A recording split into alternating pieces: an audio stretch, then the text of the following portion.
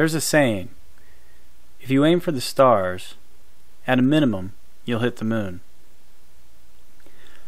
Over seven years ago, we started a journey that included five years of research, one year of design, and now two years of construction, and we are so close to the finish line. I'm an aerospace engineer by degree, a former engineer with the Air Force, and now I work full time as a program manager for an aerospace company. My wife has a passion for helping people through food and a heart overflowing with compassion for others. Together, we are working towards accomplishing our mission to design and operate a system that will provide sustainable food and energy to local communities around the world.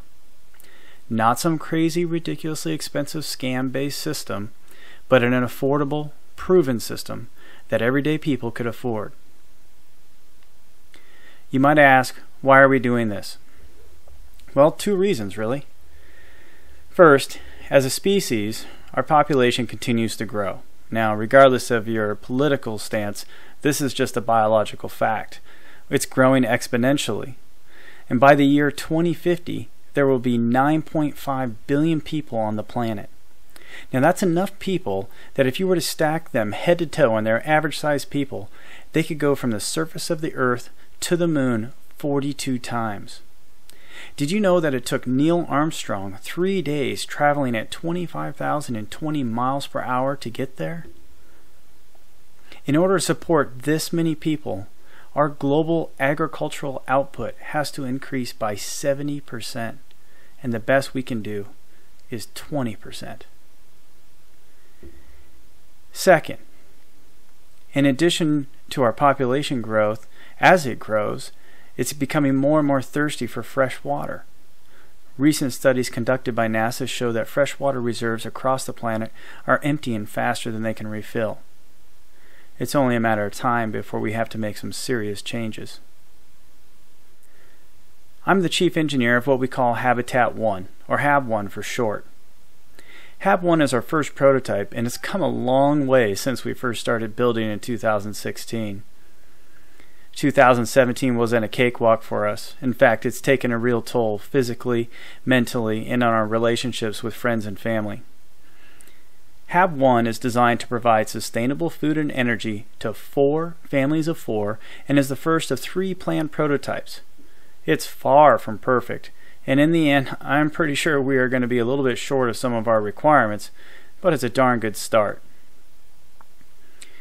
We started big because lots of the smaller pieces we will need don't exist. And we aren't trying to simply cobble together a system, but trying to develop a real product. By going big, we were able to acquire a majority of all the parts we needed off the shelf. And just like an electrical engineer who would breadboard their circuits before printing them, we are breadboarding the system before we spend serious money to custom build smaller, more affordable, easily mass producible, high quality, and reliable parts. After HAB 1, each HAB is intended to get smaller and smaller until we can fit the entire system into a shipping container.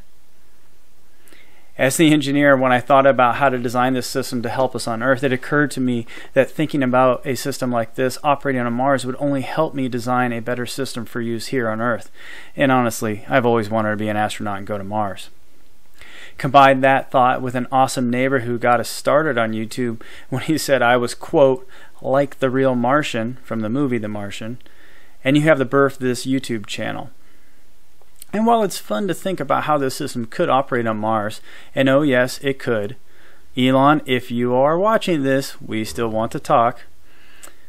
So even though it could work on Mars, the real goals are here on Earth, and those goals are to increase the agricultural output of one square foot of area by at least 50% threshold up to 70% is our objective. That's our real goal. Two, to be self contained, only using external resources including air, water, wind, and sun to operate. Three, generate no waste that must be disposed. It is meaning that this system can take in waste from external sources and be even waste negative. Four, it generates enough power, electricity, and fuel to run itself and support a family of four, where excess can be sold. 5. It doesn't use pesticides, herbicides, or non organic chemical fertilizers. Six, it utilizes 50% threshold, 90% objective, less water than traditional agriculture. 7. To be carbon neutral threshold or negative objective. 8. Be able to utilize traditional and non traditional agricultural spaces in all human inhabitable environments. And finally, 9. Be scalable so that at a minimum a family of four can receive their food and power from this system. HAB1 generates energy through a combination of solar power and energy generated from bacteria in our anaerobic digester. This means that our system can provide power even when the sun isn't out and the wind isn't blowing. Food is developed from a symbiotic relationship between rainbow trout and the plants we grow aquaponically.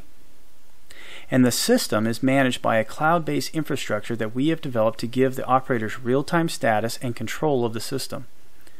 One of our goals is to ultimately build the hardware and software needed so that any family could operate their own system from any place on the planet using their smartphones or other internet connected device. Last year was our first full year on YouTube, and boy, did we have some fun. With the help of our subscribers, whom we call Mission Control, we have surpassed 20,000 strong and growing. Mission Control is a great term for all of our extended team in YouTube land, as they really are part of this journey with us. They have provided invaluable help and suggestions through the comments in our videos, as well as through their continued support on Patreon. This year, well, this year we believe, quite frankly, it's going to be amazing. All of the large system builds are completed, and we are down to some final projects that we need to finish before the system is fully operational. This winter, we're going to try to get some bottoms up watering put in place for the microgreens to reduce mold and mildew and uh, fungus problems.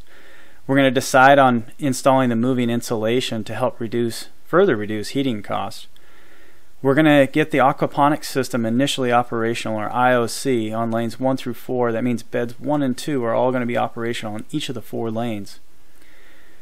We're going to try to get the automation finished, at least the first draft, the first round of it finished, and do a sensor update. And we're also hoping to get the first mobile and web app put together. Come spring, we're going to fence off the area around the HAB so that we can let the animals back out into the pasture. This will help keep everything safe. We need to make further improvements and expand the aquaponics so that uh, bed 3 is included on each lane. We need to address how we're going to cool the building. We got that awesome new cover, uh, and it does really great. But in the summertime, it's going to be really hot, so we'll need a shade cover and some form of probably air conditioning. And finally, in spring, we're going to develop the plan of attack for the digester loading problem. Come summer, we need to get the digester fully operational. That is the last major component of the system. I am so excited to get to it. We need to finish the aquaponics. You know, when we're done, we want it to be like a Garden of Eden in there when you walk in. It's going to be pretty tough, but I think we can do it. We're going to start defining the products that we think we can sell. You know, there's a lot of stuff we learned here, and we'd like to put some parts together and design reliable quality product that we can sell to others so that they don't have to go through what we went through. And finally, in summer, we'd like to replace the non organic trout feed with a sustainable solution, such as growing algae that then can be eaten by little red minnows and then feeding the minnows to rainbow trout, or maybe vermicomposting or something else like that. This fall, once we make it here, we're pretty much done. And now it's time to actually document all of our lessons learned from these early phases of development. And then uh, we also need to learn how to get the trout to breed. And hopefully, if all goes well, in winter of 2018 2019, we will be able to document uh, the HAB1 design and actually write all the uh, operator manuals for it, the maintenance manuals for it, uh, so that uh, we can make sure we know how to use it and other people could uh, be taught how to use it. And we're going to start the next big step, which is the HAB2 design. Whew, that's a lot, but it's nowhere close to what we went through in 2016 or 2017. Heck, maybe we might even get a vacation this year. Who knows? At least, well, we know. We're planning on it. we need one. So having a bunch of parts that work together is cool, and that's basically what we have right now, but it doesn't do any good if they don't produce what we need. So this year, we're going to introduce something new, the Martian Challenge. Now we can't give you all the details yet, but here's the idea. Twice this year, Mrs. Martian and I will live off of what Habitat 1 produces for three days. So that's six days total. That's right, three days of eating nothing except what the system has to offer. And if it doesn't have, then we don't eat. I guess I could use a nice little diet, there's no doubt about that, but I'm thinking this might give us some serious motivation. We're really excited for what's coming in 2018, and honestly, the end is in sight for this first HAB. We're really looking forward to sharing this year of our journey with all of you, and want to say thank you up front for your continued support on YouTube and on Patreon. I hope you enjoyed this video, and if you did, please be sure to give us a thumbs up and hit subscribe. Don't forget that you can also follow us on Facebook, Twitter, and Patreon. In the meantime, everyone, this is The Real Martian. Out.